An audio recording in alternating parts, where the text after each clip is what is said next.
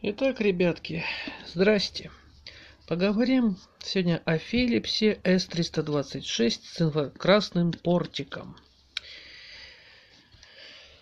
Значит, я сразу включаю сейчас AIDU 64, чтобы вы видели на самом деле что да как.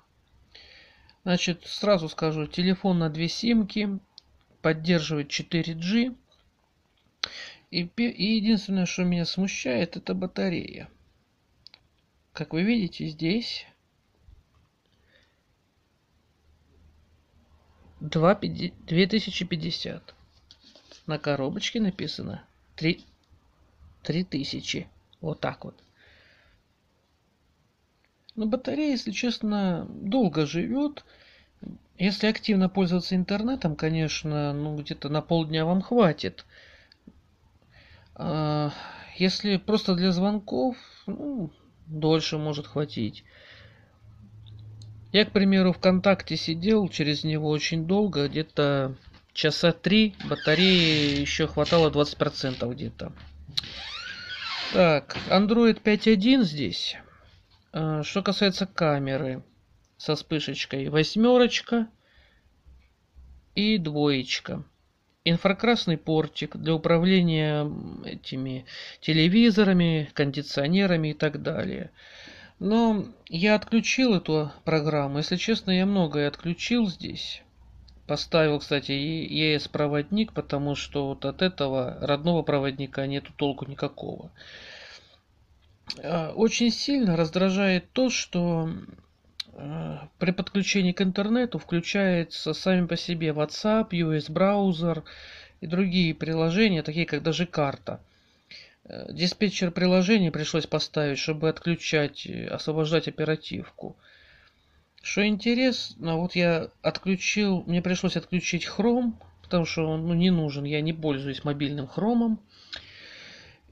И пришлось отключить вот эту Zaza Remote. Это приложение, которое как раз отвечает за управление инфракрасным портом. Потому что я так и не смог ее нормально настроить. Вообще телефон я купил своей девушке. Но она сказала, что он ей не нравится, он там неудобный и так далее. Я решил походить с ним неделю, чтобы понять, в чем его минусы, в чем его неудобства. Знаете, я, ну сколько, третий, нет, стоп, пятница. Ну, да, третий день хожу. Я не могу сказать, что в нем что-то не так. Э, удобно лежит в руке, не тяжелый. Кстати, да, я доктором Вебом Light пользуюсь тут. Э, Android 8 гигабайт памяти родной. Пришлось еще на 8 гигабайт карточку брать. Полупустой Android здесь. Некоторые программы, ну, приложения пришлось самому ставить. Ну, я не разочарован, кстати, в этом. Э, настройки звонка, правда, немножко, немножко приходится помучиться было, потому что некоторые мелодии почему-то не хотят ставиться здесь, ну, на звонок. И, кстати, вот я сейчас просто им пользуюсь, уже на клацаю, уже на 2% упала заряд потому что экран, я уменьшил яркость как мог, чтобы мне было более-менее приятно. Он очень сильно потребляет экран. Э, заряд, извиняюсь. Вот, экран в настоящий момент вот 68% потребляет энергии от всего остального. Даже вот OS Android 8% всего лишь берет.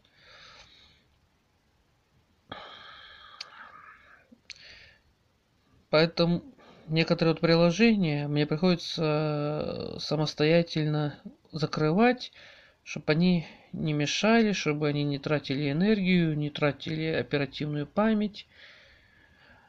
Заряжается он очень быстро, в течение где-то полтора часа точно он стоял на зарядке. Коробочке, хочу сказать, кроме самого телефончика, есть еще защитная пленка, но я ее не смог нормально приклеить, пришлось выкинуть. Наушники еще есть с микрофоном. Сама коробочка выглядит вот так вот. Вот. Виноват. Так. Не очень удобно-то, ребят, одной рукой. Ладно, поверьте на слово, там, там ничего интересного нету.